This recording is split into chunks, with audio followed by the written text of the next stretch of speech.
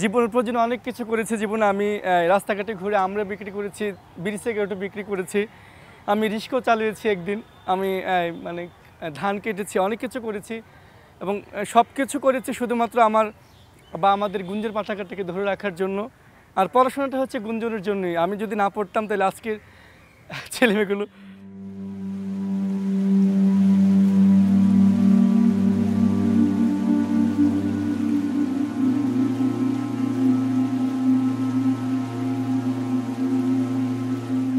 একমাত্র সম্বল দুই শতাংশ জমিতেই গড়ে তুলেছেন পাঠাগার। অথচ বইমজুর স্বপনের নিজেরই থাকার নেই কোনো জায়গা। পাঠাগারের এক কোণে কোনো রকমভাবেই চলছে স্বপনের যাপিত জীবন।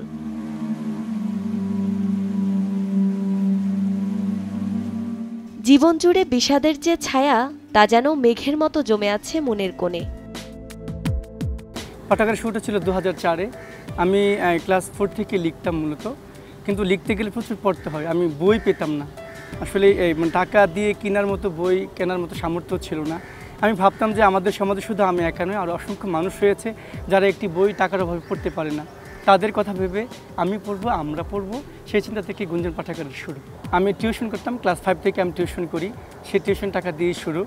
দু হাজার চারে মাত্র তিনটি বই, একটি বাঁশের এক একশো টাকা মূল্যের। আর হচ্ছে আমার এক আপুকে ভাবি বানিয়ে একটা এনজিও থেকে মানে আট হাজার টাকা ঋণ তুলে একটি একচালা ঘর করা, সেখান থেকে যাত্রা শুরু মূলত। এখন প্রায় পাঁচ হাজার বই আছে, একটি দ্বিতল ভবন হয়েছে, অসংখ্য পাঠক হয়েছে। এ তো গেল একজন বইপ্রেমী মানুষের সংগ্রামী জীবনের গল্প। তবে গল্পের মাঝেও আরও কত শত গল্প আছে তা কি আর সবার জানা হয়। বাধায় আসলে জীবনটা ছিল সম্পূর্ণ জীবনটাই বাধা ছিল কিন্তু সবচেয়ে বড় বাধা ছিল মানুষ আমাকে এবং আমাদের পরিবারকে বিশ্বাস করতে পারতো না যে এই পরিবার থেকে একটা ছেলে পাঠাগার করতে পারে এই পরিবার থেকে একটা ছেলে পড়াশোনা করতে পারে। আমি মনে করি সবচেয়ে বড় বাধা ছিল এটি। উনত্রিশ বছর বয়সী এই তরুণকে আপনি একটি শব্দ বলবেন? সেই শব্দ দিয়ে তিনি মিলিয়ে দেবেন ছন্দময় এক ছড়া। আমি যখন ছোট ছিলাম তখনই বুঝতে পেরেছি স্পষ্ট। সত্যিকারের জীবন পরিচালনা অনেক বেশি কষ্ট। শব্দে শব্দে যিনি ছন্দ মিলান তার জীবনের ছন্দ মিলেনি এখনও। শিশু বয়সেই বাবাকে হারিয়েছেন। এরপর থেকেই অর্থকষ্টে জীবন কাটাচ্ছেন নিদারুণ দুঃখে। নুনান্তে পান্তা ফুরায় অবস্থা। মা কাজ করেন মাটি কাটার দুই ভাই রিক্সা চালান। চরম অর্থকষ্টে পড়াশুনো বন্ধ হয়ে যায় স্বপনের। যে পরিবারে তিনবেলা খেয়ে বেঁচে থাকাটাই ছিল প্রধান যুদ্ধ। সেখানে আসলে পড়াশোনাটা কথা কঠিন ছিল? আমি দুইবার ঝরে পড়েছিলাম জিএসসিতে একবার এসএসসিতে একবার। তারপর আমি দেখেছি যে আমাদের সমাজে এত বেশি অহমিকাম এত বেশি অর্থবিত্তের প্রাচুর্য সেখানে বেঁচে থাকতে হলে আমার তো অর্থ নেই, পড়াশোনা দিয়ে টিকে থাকতে হবে। আর যদি আমি পাটাঘাটি ধরে রাখতে চাই, আমি যদি মানুষকে বলি যে তুমি পড়তে আসো, আমি যদি না, নিজে না পড়ি, তাহলে কেউ পড়তে আসবে না। সে থেকে মূলত আমার উন্নতিতে ভর্তি হওয়া এবং এসএসসি ইন্টার আমি উন্নতিতে করেছি, অনার্স, মাস্টার্স করেছি ব্রাহ্মণ সরকারি কলেজ থেকে জাতীয় বিশ্ববিদ্যালয়ের অধীনে ফার্স্ট ক্লাস পেয়েছি মূলত। মানুষ বিশ্বাস করে না, আপনি মানে আমি আমি যতবার গেছি, আমি, মানুষ বিশ্বাস করে না, আমি পড়তে গেলে আমাকে পড়াইতো না কেউ যে উপরে কি করব? উন্নতিতে পরে মানুষ কি করে? মানে মানুষ বিশ্বাসই করতো না একসময় যে, আমরা আমরা কিছু করতে পারব। আসলে স্কলার বাই কিছু করতে পারে, মানুষ বিশ্বাস করে না সমাজে।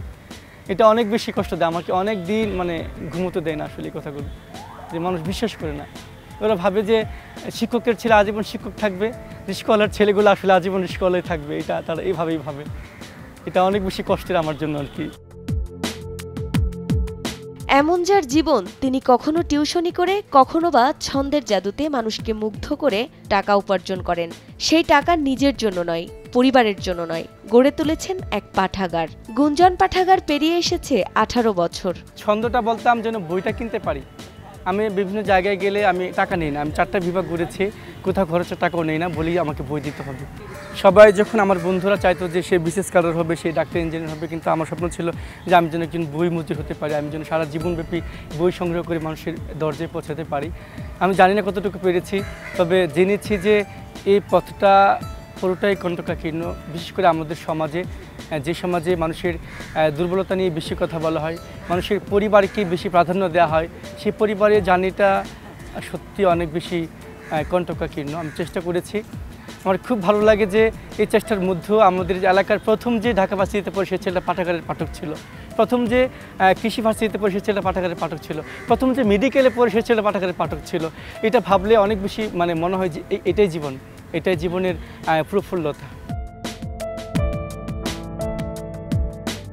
দুই হাজার তিন সালে গড়ে তোলা পাঠাগারটি একচালা ঘর আর তিনটি বই দিয়ে শুরু করলেও এখন পরিসর বেড়েছে। এই পাঠাগারের জন্য ভাইদের সাথে সম্পর্ক ছেদ হয়েছে তার। তবুও পাঠাগারটি নিয়ে তার স্বপ্নের যেন শেষ নেই।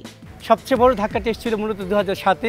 কোনো এক দুপুরবেলায় আমার মা আমাকে জিজ্ঞেস করছেন স্বপন তুই কি পরিবার চাস নাকি পাঠাগার চাস? আমি বলছিলাম আমি দুইটাই চাই। কিন্তু পরদিন দেখি যে আসলে আমাদের পরিবার সেপারেট এক চুলা রান্না হচ্ছে তিন চুলায় কারণ হচ্ছে ওরা কখনো চায়নি যে আমি টাকা, এত কষ্ট করে টাকা রুজি করি কিংবা পরিবারে টাকা না দেই কিংবা আমি শুধু বই কিনি কেন? বই তো কিনে বখাটেরা, যারা সমাজে কিছু করতে পারে না, তারা শুধু বই কিনে। এর জন্য কিন্তু মূলত আমাদের পরিবারটা ভেঙে যায়। কিছুদিন আগে, আজকে থেকে তিন, চার মাস আগে আমাকে চাকরি হয়েছিল চাঁদপুর একটি কলেজে এমপি কলেজে। সেখানে আসলে আমি যাইনি। গুঞ্জনের জন্য। আমার কাছে মনে হয়েছে, গুঞ্জন ছড়ে এতদিনের সম্পর্কটা বিচ্ছিন্ন করে এত দূর যাওয়াটা আমার সম্ভব হয়নি। এই ত্যাগগুলো মাঝে মধ্যে ভাবায় যে আসলে আমি আসলে কী করা দরকার ছিল তখন। ব্রাহ্মণবাড়িয়া জেলার নবীনগর উপজেলার সোহাতা গ্রামের বাসিন্দা তিনি। ছন্দ মিলিয়ে কথা বলায় জেলা জুড়ে খ্যাতি তার। নবীনগরের এমন কোনো গ্রাম নেই যেখানে স্বপনের ডাক পড়েনি। শুধু কি তাই? কলেজের অনুষ্ঠান থেকে শুরু করে জেলা শহরে ছন্দ নিয়ে দাপিয়ে বেড়ান এই ছন্দরসিক ডাক পড়ে জেলার বাইরের বিভিন্ন অনুষ্ঠানেও। মানুষ আসলে ভালো কিছু করতে করতে গেলেই বলে যে, আমার আম্মা এক সময় মাটি কাটতো, আমার ভাই রিক্সা চালাইতো। এই কথাগুলো বলে। এই কথাগুলো বলা মানে হচ্ছে একটি কাজকে দমিয়ে দেয়া। আমি আসলে ভাবতাম যে তার দমাবে কেন? তারা আমাকে মানে হেল্প না করুক, তারা আমাকে মানে মাথায় হাত দিয়ে দোয়া করতে পারে শুধু, তারা তো আমাকে দমিয়ে দেওয়ার মতো না। এগুলো নিয়ে অনেক অনেক ঝামেলা হতো আমাদের সমাজে। কেন আমি কাজগুলো করি? কেন আমি কাজগুলো করতে যাই? আসলে অনেকে বলতো, আমাদের পরিবারে ভাতি নাই, আমি বই নিয়ে ঘুরি, সারাদিন আমি পুরো এলাকা ঘুরি। এটা নিয়ে অনেক বেশি কথা শুনতে হতো। খুব ভালো লাগে এখন যে তারা আসলে পাঠাগারে আসে এবং তাদের সন্তানদেরকে প্রতি সপ্তাহে পাঠাগারে পাঠায়, শিক্ষিত হতে, ডাক্তার হতে, ভালো কিছু হওয়ার স্বপ্ন নিয়ে অনেক পাঠায়। এটা অনেক বেশি সাহস দেয় আমাকে আসলে। আমাকে, আমার মনে হয় যে এই গুঞ্জনে আমি যত বছর ছিলাম প্রায় আঠারো বছর ধরে গুঞ্জনের সাথে আছি, মনে সারা জীবন যেন গুঞ্জনের পাশে থাকতে পারি। যেন আরও কিছু মানুষ বের করতে পারি যারা সমাজের খুব অবহেলিত বাট তার স্বপ্ন দেখে তারা একজন যোগ্য মানুষ হবে সমাজে। যারা গত আঠারো বছরের পাঠাগার থেকে শত বই পড়েছেন, আমরা এই মুজিব বর্ষের সাথে মিল রেখে মুজিব শতবর্ষে শত বইয়ের পাঠক সম্মাননা দিয়েছি। এর মধ্যে অনেকেই মাছ বিক্রি করে পড়াশোনা করেছে, অনেকে টিউশনি করে পড়াশোনা করেছে, অনেকে সিঙ্গারা বিক্রি করে পড়াশোনা করেছে। আর আমরা সবসময় পাঠাগার তাদেরকে খুঁজি যারা ঝরে পড়ে। আমি স্বপ্ন দেখি যে সমাজ থেকে যেন কেউ ঝরে না পড়ে। আমি ছিলাম আমাদের এলাকার প্রথম উন্মুক্ত ভার্সিটির ছেলে। এখন অনেক ছেলে মেয়ে উন্মুক্ততে পড়াশোনা করছে। অনেক ছেলে মেয়ে।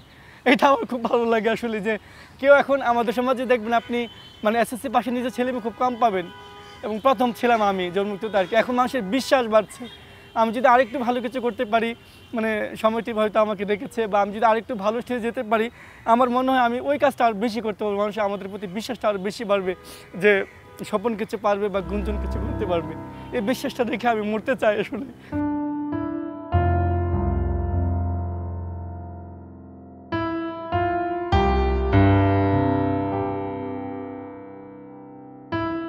এই কান্না দুঃখের কান্না নয়। বছরের পর বছর জমে থাকা অবহেলা আর অবিশ্বাসের কান্না। যে ছেলেটা স্বপ্ন দেখে ঝরে পড়া মানুষের পাশে দাঁড়াবে, তাকেই হাঁটতে হয়েছে একা। ছন্দ দিয়ে স্বপ্ন বুনেছেন, এই ছন্দ দিয়েই করুক বিশ্বজয়, এমনটাই প্রত্যাশা। ক্রান্তি সারোয়ার, সময় সংবাদ, ঢাকা।